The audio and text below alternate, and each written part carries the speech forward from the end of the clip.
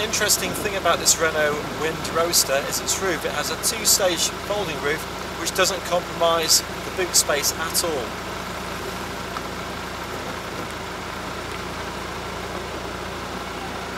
Apparently it takes 12 seconds.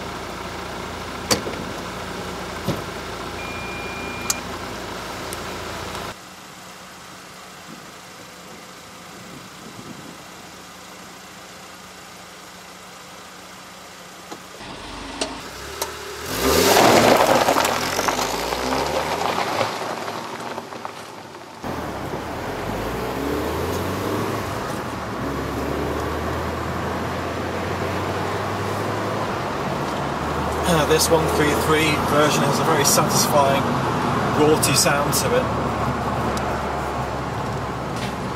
which I like. There's no diesel available on this uh, Wind Roadster, unlike the, the Tigra.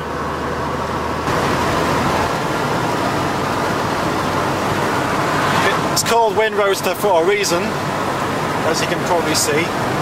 I'm quite unsure about this plastic over the instrumentation. It looks cheap, it reminds me of one of those visors you had when you were a kid in 1975. You remember that long? I remember 76, summer. Remember there were no rear seats in this car. It's a shame that some touches actually cheapen the car. The handles, for example, are not practical. The plastic. What's the point of having red plastic? Maybe it illuminates. That might, but.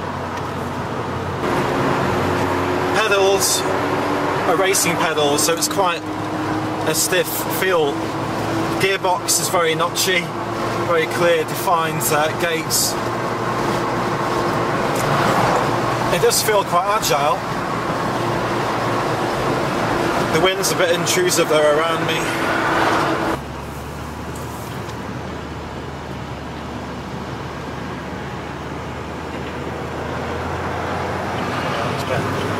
It's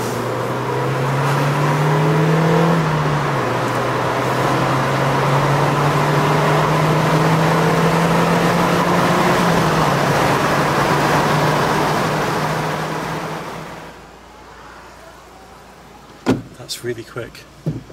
Hmm.